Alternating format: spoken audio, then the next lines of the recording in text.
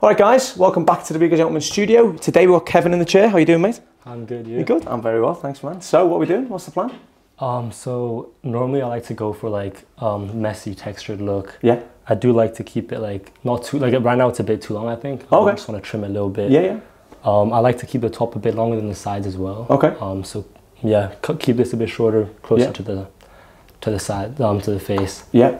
And for the back, it's quite long. Um, I think I want to get rid of that. Oh, okay, yeah, no worries. Yeah. Um, I want to see what you think, obviously, but okay, I yeah. have had this for a bit and it is getting a bit long. Okay, no worries. I mean, it, so the shape you're rocking at the moment, do you still want to keep the same kind of style, though?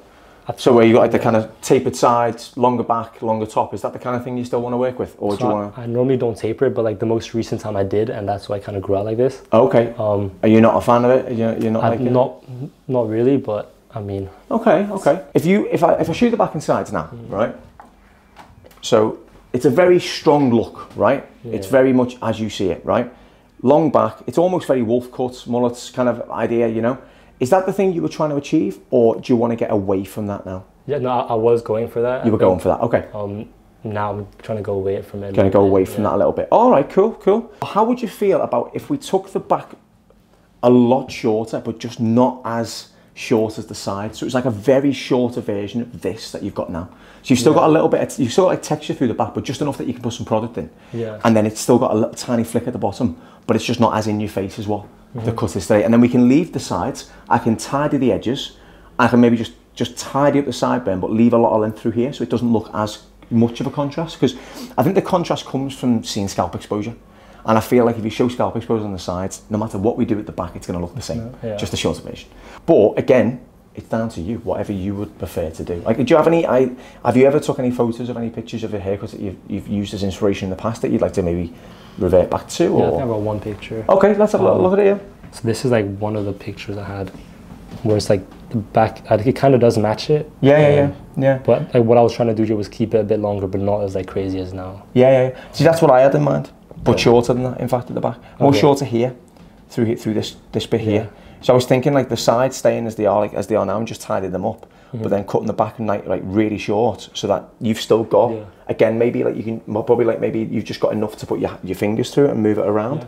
And then that way you've still got the little bottom, like very natural bottom as well. good, yeah. And then, all right, well, it, we'll, we'll, we'll, we'll, we'll stay on that idea for now. Cool. What are you thinking of doing with the top? Um, yeah. So the thing with like keeping the back long is that like the back kind of sides get quite long, and it like from the front I don't really like it. Yeah, Um, comes out, doesn't it? yeah, it Yeah. like puffs out a lot. Okay. Um, I guess like yeah, keep it like I want to keep it messy and like textured, just so it's like kind of low maintenance. Yeah, yeah. Um, okay. But a, quite a bit shorter as well. How much shorter are you thinking? How would, how would you how much would you be comfortable taking off? Put use your fringe as an example. How how would, would you want that to hang over your fringe? Like up to like here maybe. oh, okay, just below the eyebrows, yeah. Yeah, oh, right, 'cause, like it does like it's, it's not like because I don't know it's kind of like like not wavy but like it's got a bit of a kink in it though, hasn't it? Yeah, Yeah. it's got it's got a little bit of a, a slight wave at the end. Yeah. Is it like that when it's shorter as well?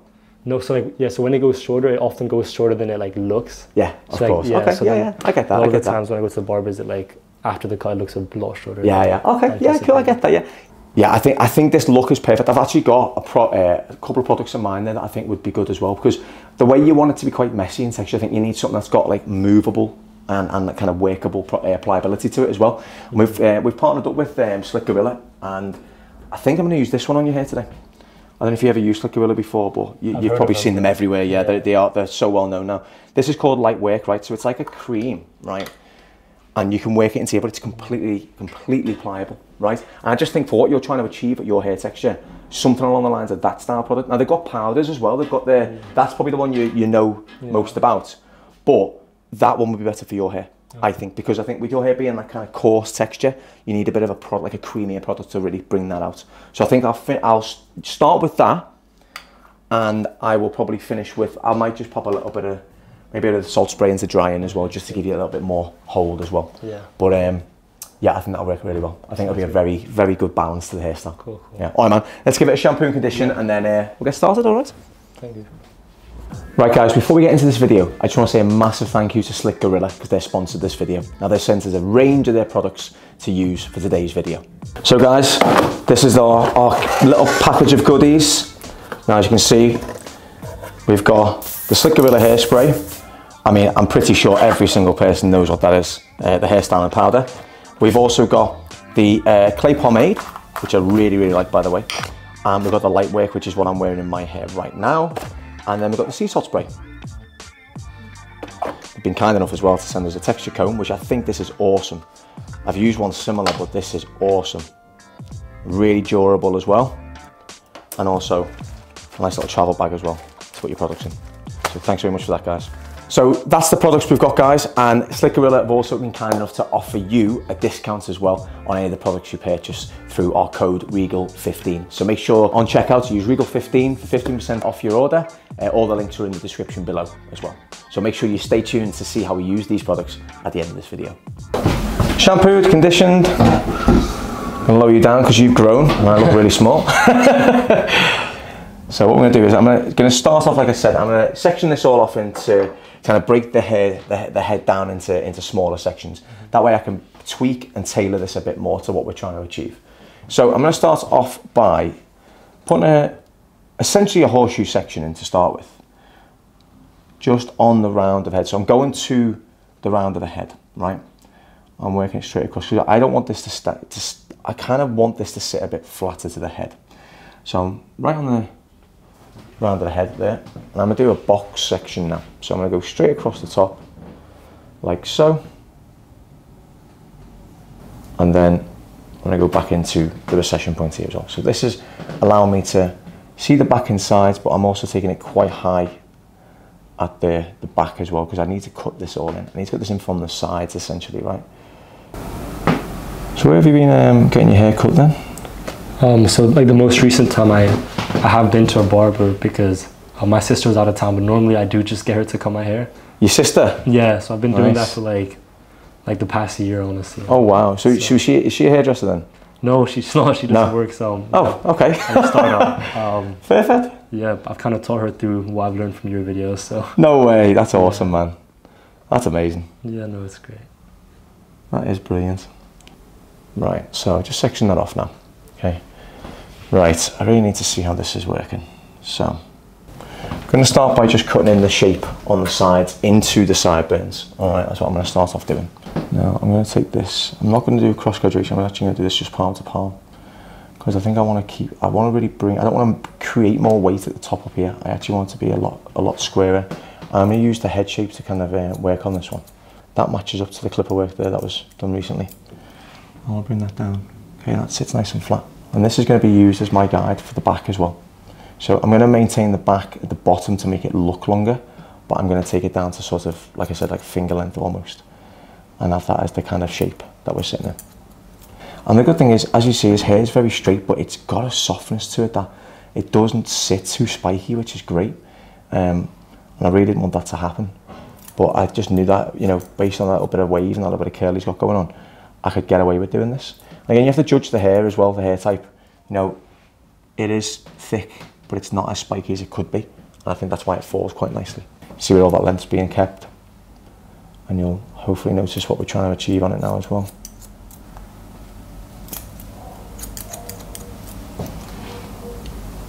Right, so I've tried to take away that sort of taper effect, okay? But as I tell you, this around the edges, this is what will give that a bit more shape and a bit more creative uh, element to it as well. So from this section here, the last one I'm going to do like so. I'm going to work on this technique palm to palm. It allows you to maintain length at the bottom as well. Now what I'm going to do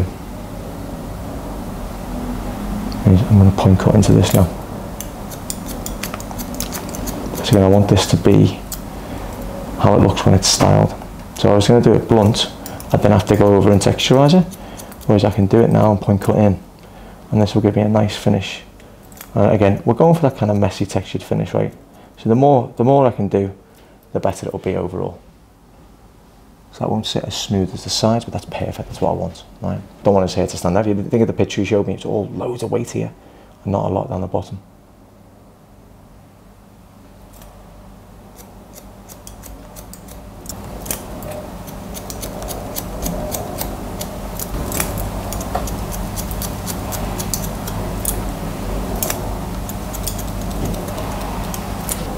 fingers in slightly. So you can see I'm on the angle. I'm almost following the shape of the head. Straight and now straight down.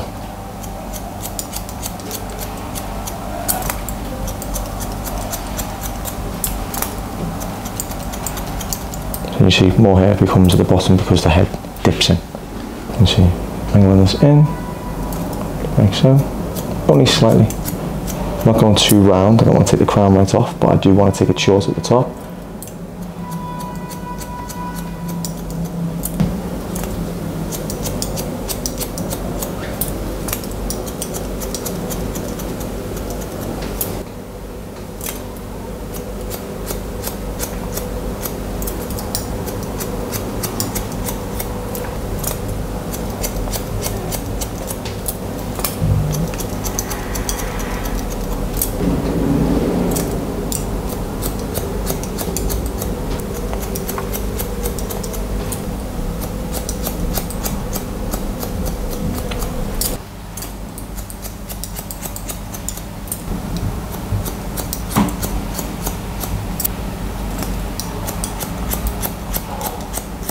This is the last section of my point cutting. Coming straight out now.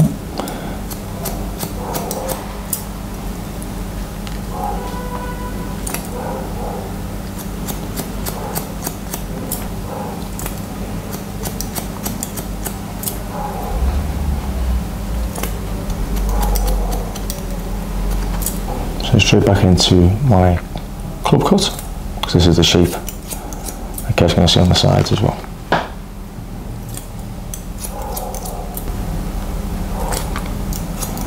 that on here, this bit here, so much longer than the other side. Because I followed the same guide, but look how much length came off that bit there then.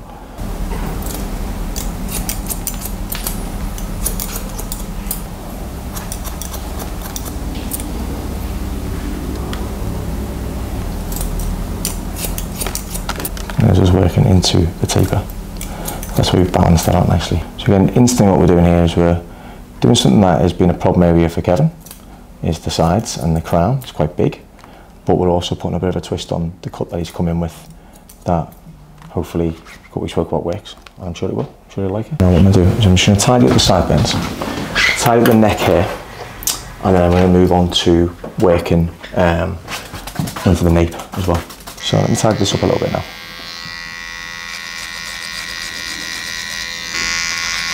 Just want this to sit a bit cleaner.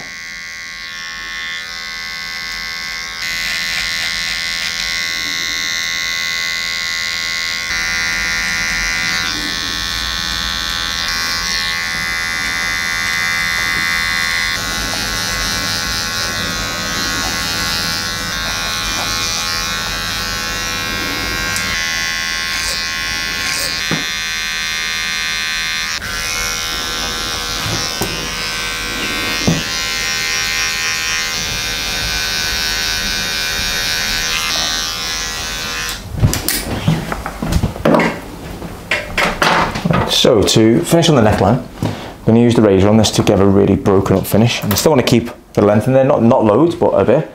But I left some length at the bottom here so I could actually work on creating that finish that we need. So separating that away, I use the razor to give that nice natural finish. So that's why I got rid of the neck hair first to exactly see what I can get away with doing at the bottom.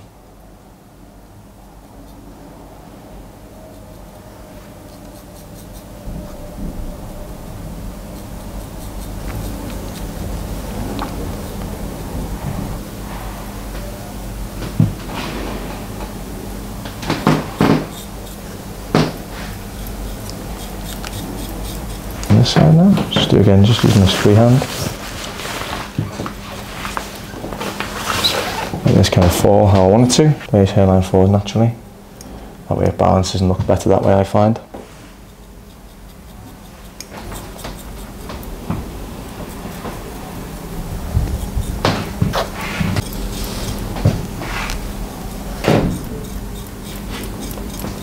And this is very similar to slide cutting with a scissor just doing it with a razor instead to allow that flow. So going with loads of different texturizing techniques here to get that really nice messy finish.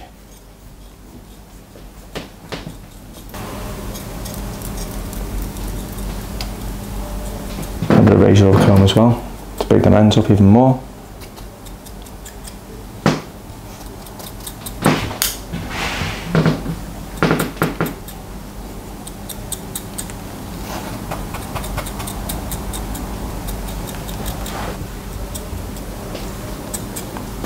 because the fundamentals and the foundations there that you can you can kind of do this sort of texturizing because when you've got the shape in, this is just kind of the secondary shape. This is the thing that's just going to make it fall very choppy and textured everything.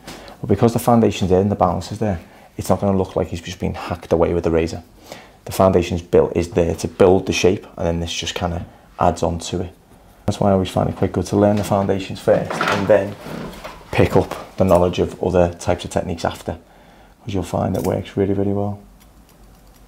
Scissors just to give just a thin little bits out more.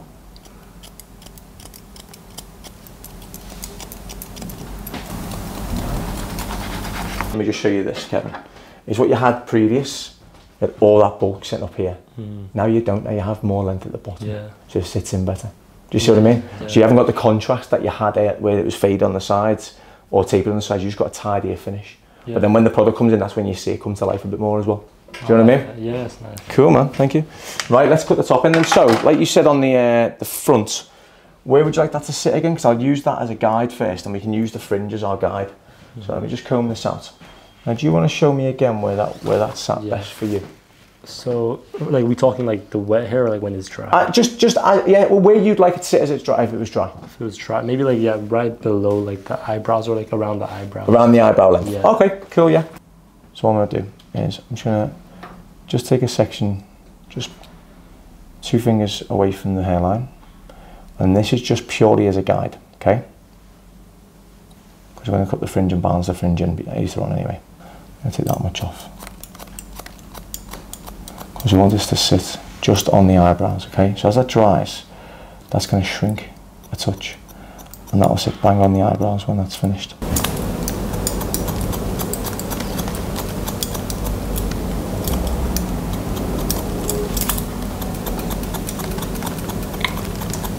I'm doing into a section down the middle. And I'm going to use the fringe. I want to follow the head shape on this because we're going for something messy. We're not going for something specifically like front heavy or anything like that at all. I just want the whole top a very nice textured finish. So I'm going to follow this on a profile section straight down the middle.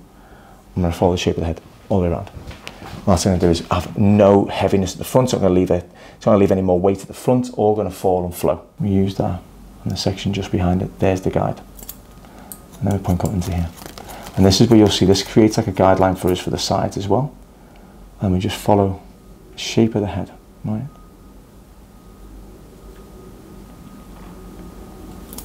There we go.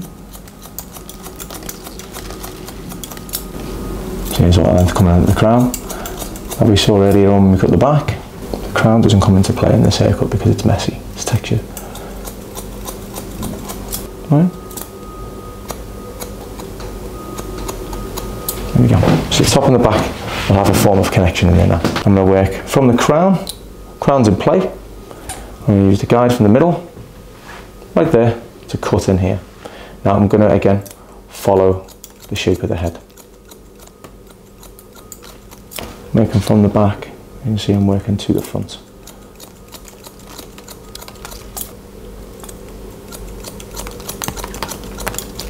Bring that out at the front. And again, following the guide from the left hand side, which will match everywhere that I need it to as well, like so. Going to point cut into that as well because you want everything still to be nice and textured. Work straight up off the head. I'm taking off that corner. This is the bit that was making the head kind of almost like go outwards, if that makes sense. All that weight.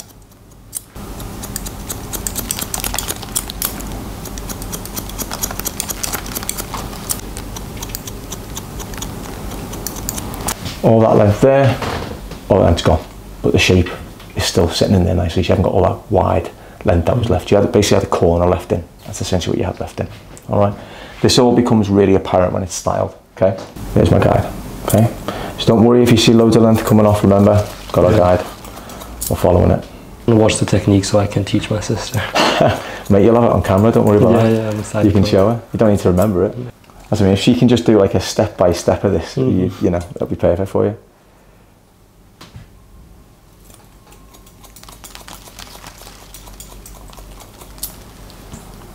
I do also like cut my friend's hair sometimes. Do you? Yeah, so I do like when I get haircuts, I do like like I enjoy watching how they do it and Nice. trying. But it's definitely not like as technical as it should be. But Oh, okay. um, Yeah, Just I for mean, fun. I'm not. I'm not that. I'm not being that technical, really. Um, not compared to like if you watch like say some training videos, for example, you'd, you'd notice it's very. Some some of them are very technical. I try and I always try and explain it in a way that is understandable to everybody. You know, that isn't just like you know isn't overloading them with, with information. Do you know what I mean? Yeah. So that's the hardest bit. Is like when you get loads of information. It's very hard to just remember, isn't it, at all, you know, and then put it into practice as well. So I try and do things that are very kind of like, you know, easy to follow. I hope, well, I hope I do. Yeah, yeah. I think I do. In my mind, I do. So obviously, you know.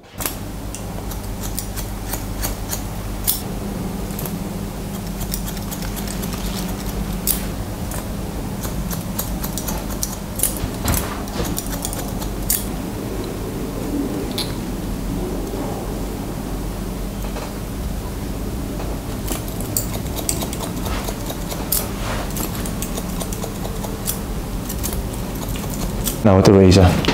Okay. You want this to be really, really nice and choppy and textured, right? So I'm gonna do. Start off with slide cutting, like we did at the back. And lay that all the way through, like so. Now just a little bit of uh, razor comb on the sides as well, just to get that nice choppy finish, like so. Just to break them ends up a little bit.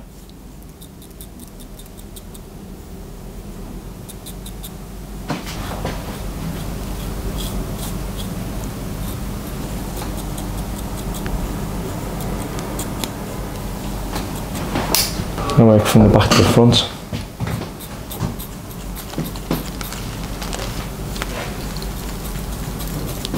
Take a lot of blunt finishes through there as well to really thin this out. That's gonna have a lot of collapse and a lot of thinning out as well, right? And I'm gonna do take some sporadic sections on a diagonal, right up, I'm gonna slide over to one side. Put the front up. And just at the ends here I'm just going to slide in as well to the ends. So again if it goes up it looks nice and textured. If it lies down it looks nice and textured as well.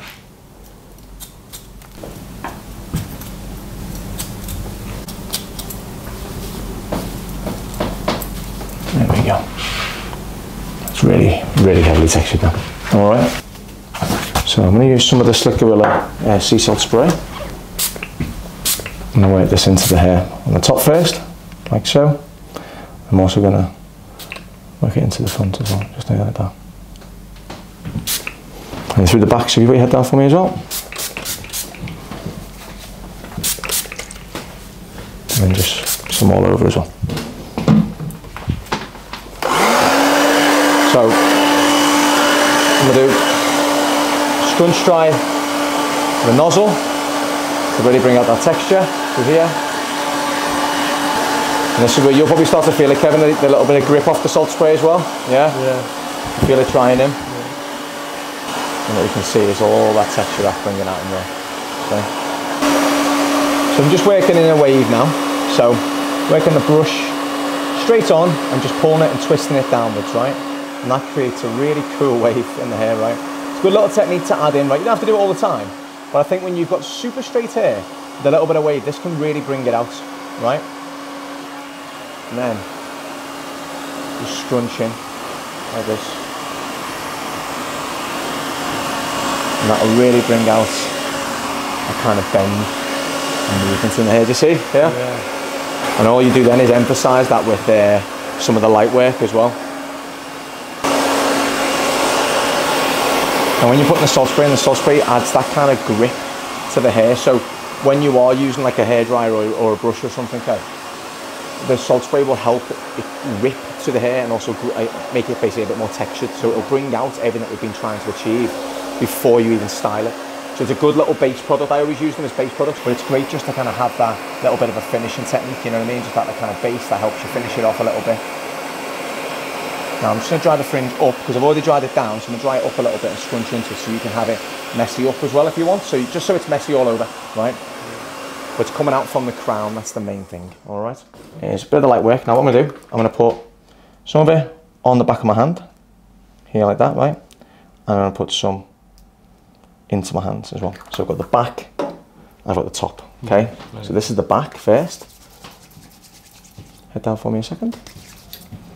And I work this from the bottom up into the crown. Like that. I'm gonna get it right in there first. This is application, this is not styling yet, okay? Purely application, okay?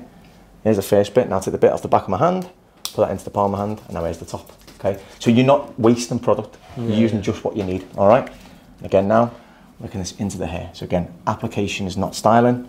We work it all the way into the hair. It's super dry, so you get that real natural messy texture. It looks like, it's sometimes it's very hard to make an effortless, an effortless haircut uh, or an effortless hairstyle without putting too much effort into it. Do you know what I mean? So again, I put a bit of effort in with the blow drying, but the styling element is all there with the razor. Do you know what I mean? Yes. So you just do this and let it fall. And literally the messier, the, almost if you do this walking from room to room when you apply the product, more than just doing it in the mirror, you'll find that when you're finished, it looks like that.